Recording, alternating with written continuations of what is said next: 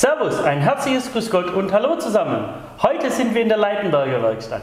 Wir zeigen euch heute die universell einsetzbaren Druck- und Vakuummessgeräte für SCR-Systeme von Leitenberger. Herzlich willkommen auf dem Leitenberger Kanal. Mein Name ist Martin Lohmüller. Ich bin Vertriebsleiter Fachhandel Deutschland bei der Autotestgeräte Leitenberger GmbH. Mein heutiger Gast ist Michael Zahn, unser Produktmanager. Er zeigt uns heute, wie diese Druck- und Vakuummessgeräte eingesetzt werden. Hallo Michael. Hallo Martin. Michael, du wirst uns heute die Anwendung dieser SCR-Messgeräte live zeigen? Richtig, ganz genau. Ich zeige euch heute, wie man so ein Druck- und Vakuumgerät an das AdBlue-System eines Seat Alhambras anschließt. Ich bin schon sehr gespannt. Warum ist dieses Thema so wichtig? Ich habe hier mal ein Blockschaltbild eines SCR-Systems vorbereitet. Eigentlich ist es ganz einfach. Du hast einen SCR-Tank, eine SCR-Pumpe und ein Einspritzventil. Das habe ich dir auch eins mitgebracht. Die sehen so aus. Sind in jedem Abgastrakt verbaut. Und dieses Dosierventil sprüht je nach Lastsituation AdBlue in den Abgastrakt und reduziert damit die NOx-Werte im Abgas um nahezu 90 Prozent. Das klingt einleuchtend. Warum benötige ich dieses Messgerät? Nun, der Druck von SCR-Systemen, die in PKWs und leichten Nutzfahrzeugen eingesetzt werden, liegt etwa zwischen 4 und 6 Bar, je nach Hersteller.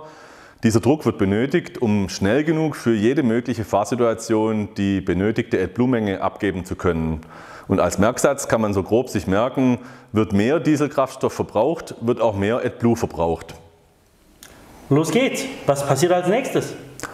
Martin, such dir mal eines der Geräte aus und das werden wir dann am Fahrzeug anschließen. Wir nehmen natürlich das digitale Gerät. So, jetzt bauen wir das Prüfgerät ein. Dazu entferne ich erstmal die Abdeckung. Dann schauen wir mal nach der Leitung. Die ist hier und hier oben ist das SCR-Ventil. Da muss man die Leitung abnehmen und kann dann das Prüfgerät dazwischen schließen und einschalten.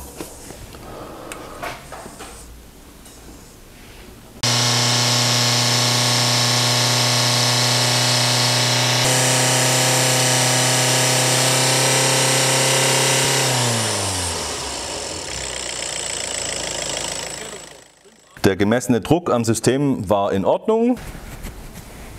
Michael, du hast vorhin von einem Druck- und Vakuummessgerät gesprochen. Die Druckmessung haben wir schon erfolgreich durchgeführt. Wann messen wir das Vakuum? Gut aufgepasst und ein wichtiger Punkt. Man muss wissen, AdBlue friert bei ca. minus 11 Grad ein. Und der AdBlue führende Schlauch und das Dosierventil könnten durch gefrorenes AdBlue beschädigt werden.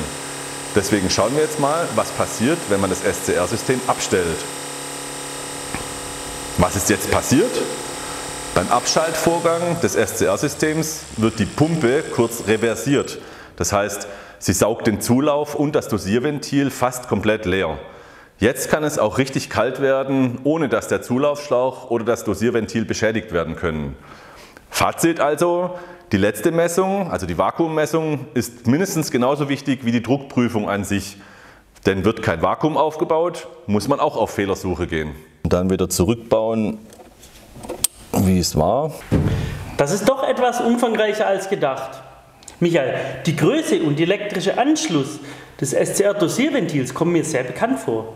Die sind sehr ähnlich zu denen eines Direkteinspritzerdüse aus Ottomotoren.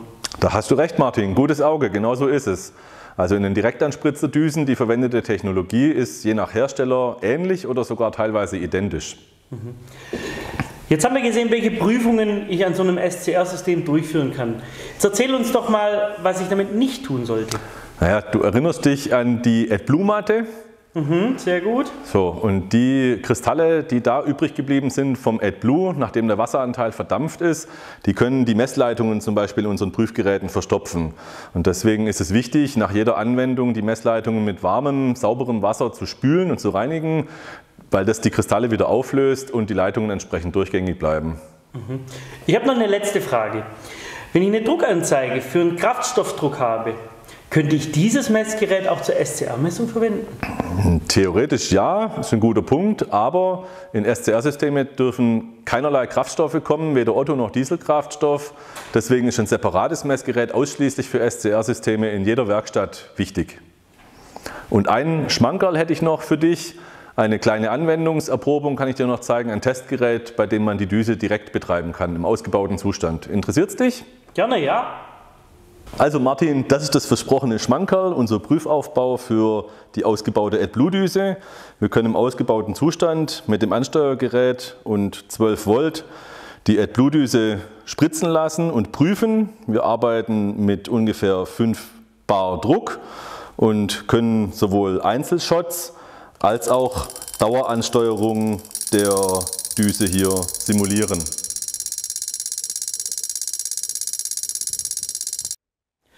Michael, besten Dank für deine sehr interessante Vorführung. Jederzeit wieder, kein Problem. Ach, und was Wichtiges habe ich natürlich noch vergessen, fast vergessen. Auch dieses Gerät wurde von uns in Deutschland entwickelt und gefertigt. Alles natürlich mit Prüfsiegel Made in Germany. Freunde, das war's für heute. Mal wieder tolle Messgeräte aus dem Hause Leitenberger. Sie können uns gerne jederzeit virtuell auf unserer Homepage besuchen. Das Leitenberger Team und ich wünschen euch eine gute und erfolgreiche Arbeitswoche. Und wie immer, auch bei SCR-Systemen stets einen hohen Wirkungsgrad anstreben. Macht's gut und bis bald, wenn es wieder heißt Neues von Leitenberger. Servus!